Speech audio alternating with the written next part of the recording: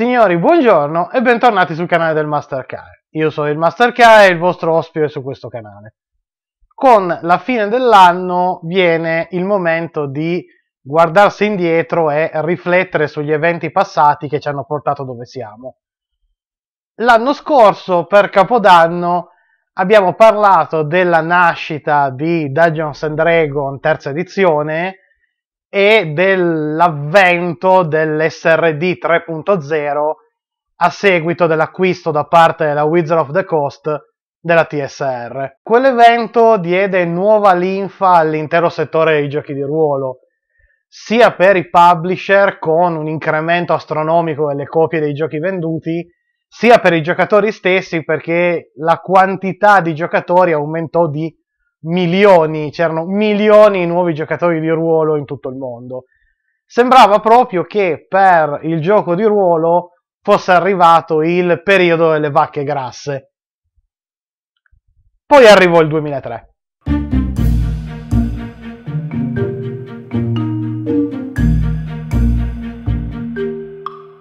Correva l'anno 2003 il Forum Sociale Mondiale, riunito a Porto Alegre, chiedeva ai paesi dell'ONU di firmare un veto per la pace con cui mettere al bando il concetto di guerra preventiva per portare pace e stabilità sull'intero pianeta. Due mesi dopo, Bush bombardava preventivamente l'Iraq, accusando Saddam di aver usato le armi chimiche che produceva dentro un camper per uccidere la pecora Dolly.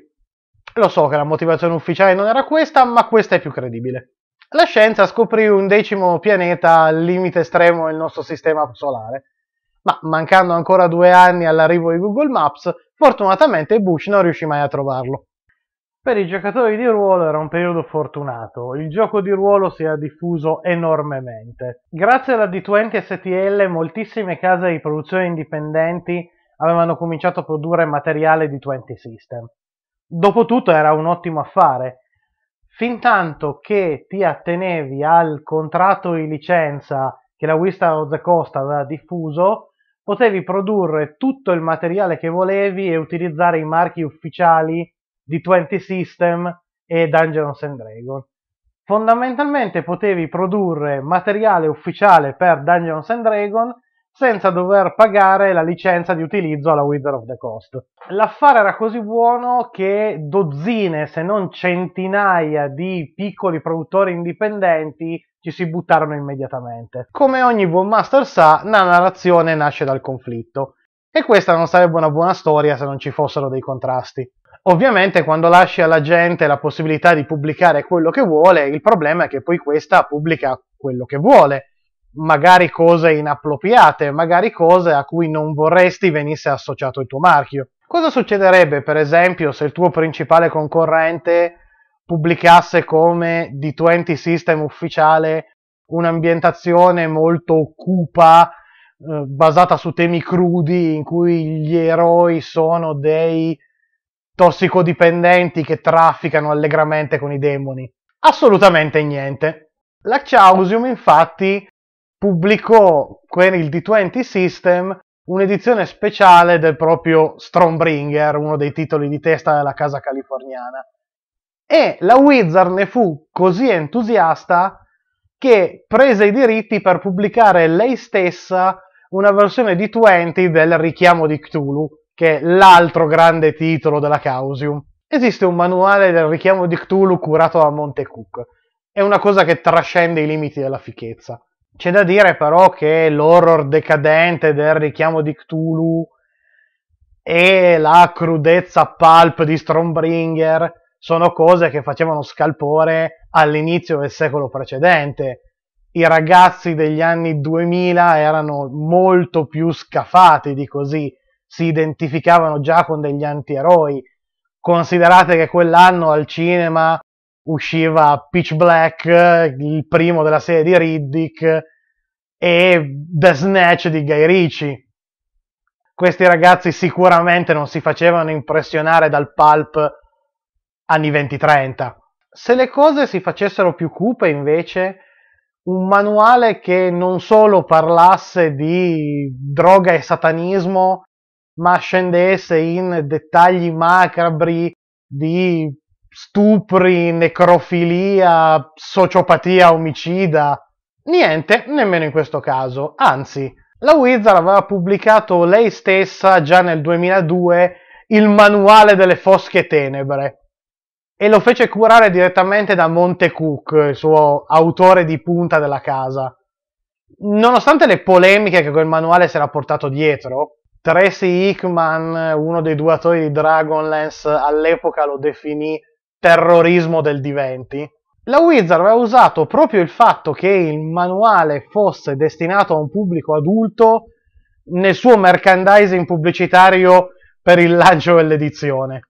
Apparentemente la Wizard aveva deciso di lasciare il massimo della libertà artistica sia ai propri che agli editori delle altre case si era comportata in maniera professionale, aveva rinunciato a una fetta del mercato in modo da favorire lo sviluppo del gioco di ruolo in generale, non si era tirata indietro dal pubblicare materiale che sarebbe potuto risultare controverso, anzi ne aveva favorito lo sviluppo e aveva creato una branca del gioco di ruolo come intrattenimento per adulti e non materiale per ragazzini un comportamento così serio e professionale che in realtà all'inizio, quando era stata ufficializzata l'SRD 3.0, molti avevano ritenuto che non fosse in grado di tenere.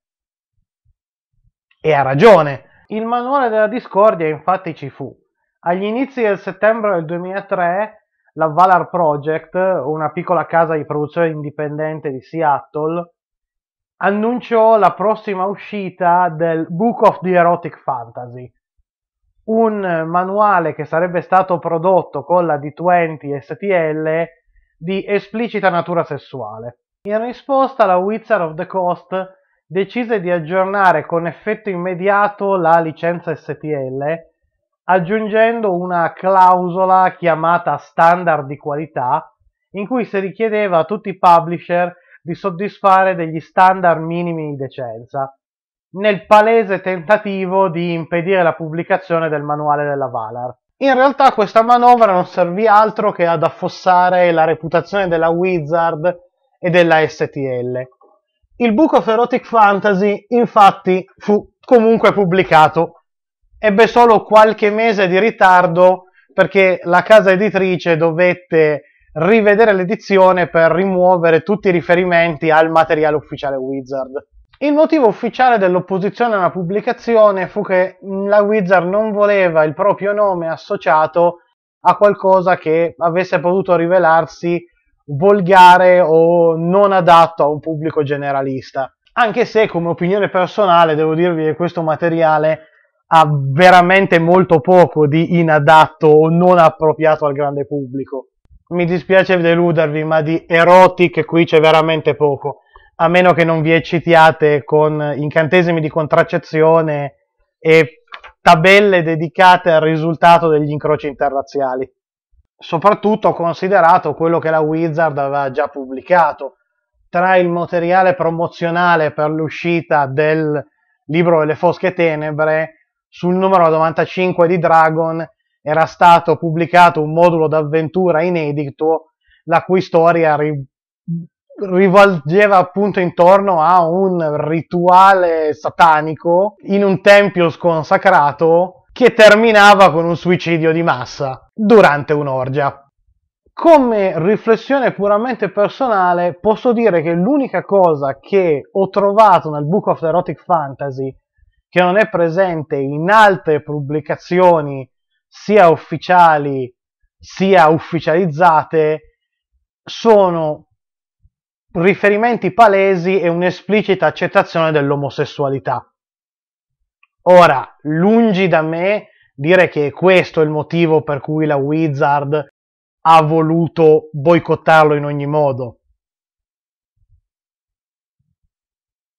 Non fu comunque un singolo manuale a minare la credibilità della Wizard, sarebbe assurdo. Il fatto però che alla fine di quell'anno l'intera licenza di 20 STL fu ritirata, dei dubbi li fece venire. che la licenza non sarebbe durata in eterno era da sempre chiaro a tutti i publisher. Il fatto che nessuno si aspettava che venisse ritirata dopo neanche tre anni dalla sua emissione e soprattutto non con così pochi mesi di anticipo che impedirono a molti publisher di prepararsi.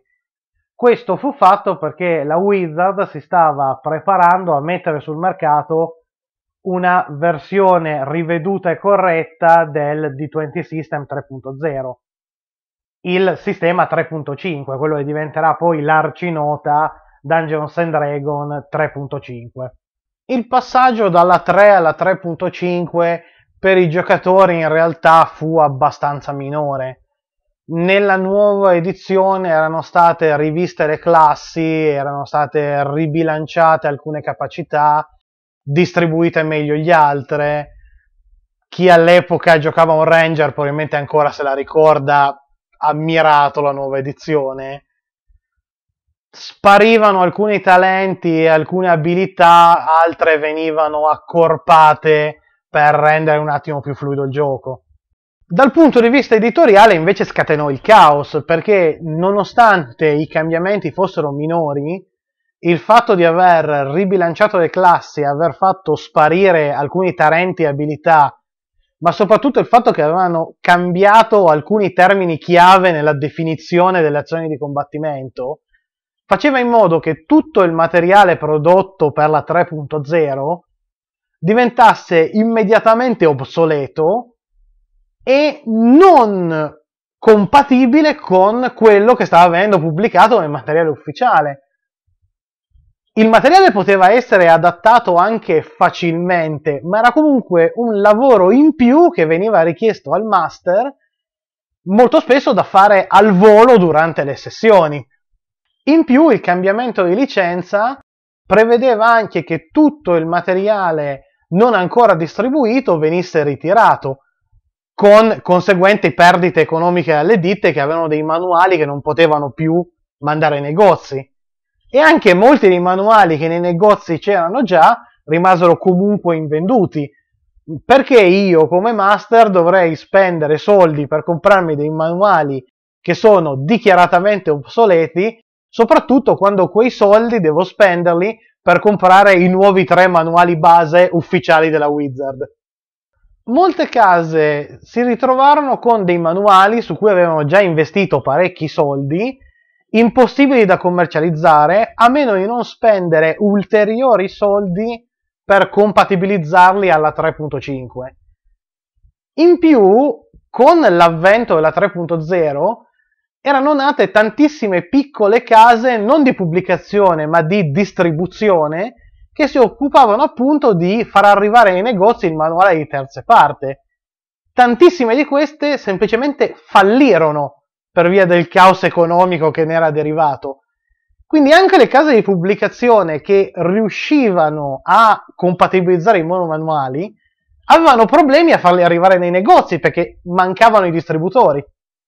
Tutto questo portò molte case minori a fallire e molte delle case maggiori a lasciar perdere il Tradement Agreement e spostarsi sulla OLG, che però per via di casi come quello del Book of Erotic Fantasy e altri manuali di terze parti decisamente di scarsa qualità, era già precedentemente mal vista da molti giocatori che semplicemente si rifiutavano di comprarla.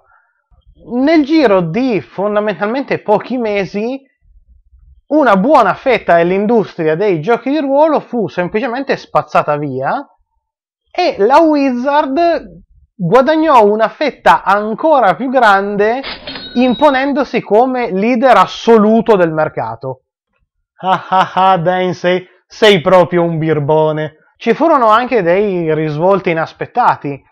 Ad esempio, la Trollord Game, storica casa produttrice americana, una delle più vecchie del settore, ha pubblicato molto materiale dello stesso Gygax, decise di prendere del tutto le distanze dalla Wizard e dalla 3.5 e produsse il proprio sistema di gioco di ruolo da 20 Castle and Crusade, che è considerato tutt'oggi quello che ha aperto la strada al movimento dei retrocloni all'interno del gioco di ruolo da tavolo.